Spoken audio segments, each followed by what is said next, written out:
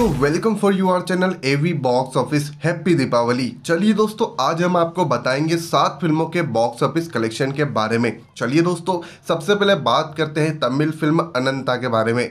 दोस्तों, मैं आपको बता दूँ कि यह फ़िल्म एक एक्शन थ्रिलर फ़िल्म है, जिसके मेन लीड में आपको रजनीकांत और नयनतारा काम करते हुए नज़र आ रहे हैं। दोस्तों, मैं आपको बता दूँ कि फ़िल्म ने अपने पहले दिन ही तीस करोड़ से ज़्यादा की ओपनिंग लेकर के रच दिया एक नया इतिहास। और दोस्तों, आज के दिन जब सब बिज़ी रहते हैं, उस टाइम पे भी फ़िल्म ने तीस करोड़ से ज़्यादा का कलेक्शन करा, यानी दोस्तों फ़िल्म सुपर डुपर हिट है। और दोस्तों फ़िल्म के अंदर रजनीकांत ने अपने स्टाइल और अपने एक्शन से ऑडियंस को अपना फ़ैन बना लिया है। दोस्तों फ़िल्म का बजट 180 करोड़ रुपए है। और फ़िल्म ने जब अपने पहले दिन ही 30 करोड़ से ज़्यादा की ओपनिंग ली तो दोस्तों ये फ़िल्म हो चुकी है सुपर डुपर हिट वहीं पर दोस्तों अगर हम बात करें दूसरी फ़िल्म की तो दोस्तों हमारी दूसरी फ़िल्म है एनिमी दोस्तों ये फ़िल्म भी एक तमिल फ़िल्म है, जिसके अंदर आपको विशाल, आर्य और प्रकाश राज जैसे बेहतरीन एक्टर काम करते हुए नज़र आ रहे हैं। दोस्तों इस फ़िल्म को डायरेक्ट करा है आनंद शंकर ने। दोस्तों, अगर बात करी जाए फ़िल्म के कलेक्शन की तो जिस तरीके से फ़िल्म का बस क्रेज देखने के लिए मिल रहा है, और दोस्तों, फ़िल्म को ज़्यादा स्क्रीन नहीं दी गई तो दोस्तों, ये फ़िल्म अपने पहले दिन ही चार करोड़ पचास लाख रुपए का कलेक्शन ही कर पाई है। जबकि दोस्तों, मैं आपको बता दूँ कि फ़िल्म के स्टोरी में काफ़ी ज़्यादा दम है, और ऑडियंस की तरफ़ से फ़िल्म को 4.6 स्टार की बेहतरीन रेटिंग देखने के लिए मिली। इसी के साथ, दोस्तों, अगर हम बात करें हमारी तीसरी फ़िल्म की तो दोस्तों, हमारी तीसरी फ़िल्म है डे बुक दोस्तों, इमरान हाशमी की हॉरर थ्रिलर फ़िल्म जिसके अंदर उनके अपोजिट काम करते हुए नज़र आ रही है निकिता। अगर दोस्तों बात करें फ़िल्म के कलेक्शन की तो दोस्तों फ़िल्म को आज लगभग को हो चुके हैं आठ दिन, और दोस्तों फ़िल्म ने अपने आठ दिनों में छप्पन करोड़ का कारोबार कर लिया है, जहाँ पर दोस्तों फ़िल्म का बजट अड़तीस करोड़ रुपए है, और फ़िल्म ने छप्पन करोड़ का कारोबार कर लिया यानी कि दोस्तों फ़िल्म सुपर डुपर हिट हो चुकी है। वहीं पर दोस्तों अगर हम बात करें हमारी दूसरी एक्शन थ्रिलर फ़िल्म की तो दोस्तों हमारे चौथे नंबर पर है फ़िल्म सनक। इस फ़िल्म के ना आपको विद्युत जमवाल और रुकमणी मेत्रा मेन लीड में काम करते हुए नज़र आ रहे हैं। इस फ़िल्म को डायरेक्ट करा है कनिष्क वर्मा ने। दोस्तों, विद्युत जमवाल ने अपने एक्शन से फ़िल्म के ना चाँद चाँद लगा दिया। फ़िल्म ने अपने पहले हफ़्ते में डेढ़ करोड़ रुपए कमा लिए थे और दूसरे हफ़्ते में अट्ठाईस करोड़।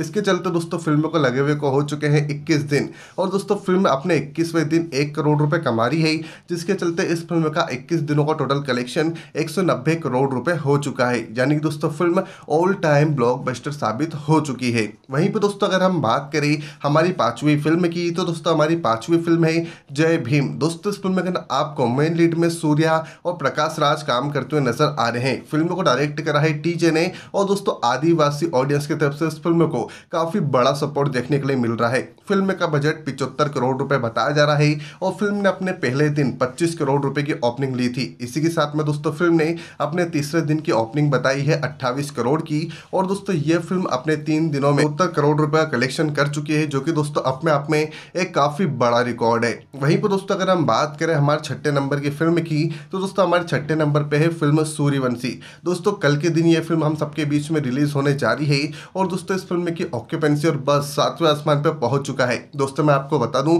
कि फ़िल्म की पीवीआर और आईनॉक्स की एडवांस बुकिंग भी चालू हो चुकी है।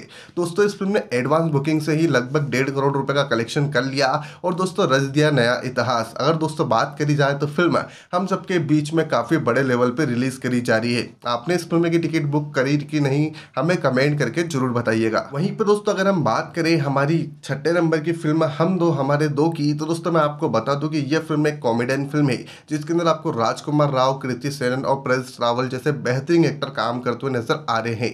इस फ़िल्म को डायरेक्ट करा है अभिषेक जैन ने। दोस्तों, फ़िल्म ने अपने तीन दिनों में तैतीस करोड़ पिचहत्तर लाख रुपए का कलेक्शन कर लिया था। वहीं पर दोस्तों, फ़िल्म ने अपने सात दिनों में, यानी कि पहले हफ़्ते में पैंतालीस करोड़ रुपए कमा लिए थे। अब दोस्तों, अगर बात करें फ़िल्म के आठवें दिन के कलेक्शन की तो दोस्तों, ये फ़िल्म अपने आठवें दिन, लगभग दो करोड़ रुपए का कारोबार कर रही है, जिसके चलते दोस्तों, इस फ़िल्म का टोटल कलेक्शन हो चुका है सैंतालीस करोड़ रुपए। अब हमको देखना ये है दोस्तों कि जहाँ पर फ़िल्म का बजट महज पैंतीस करोड़ रुपए था तो दोस्तों, ये फ़िल्म क्या सौ करोड़ का आंकड़ा पार कर पाती है या फिर नहीं? वैसे दोस्तों, अगर आप इन सभी फ़िल्मों को देख के आ चुके हैं तो आपको कौन सी फ़िल्म पसंद आई? कमेंट करके ज़रूर बताइएगा और सभी फ़िल्मों के अपडेट जानने के लिए आपके और हमारे चैनल को सब्सक्राइब करना ना भूलिएगा। जय हिंद वंदे मातरम।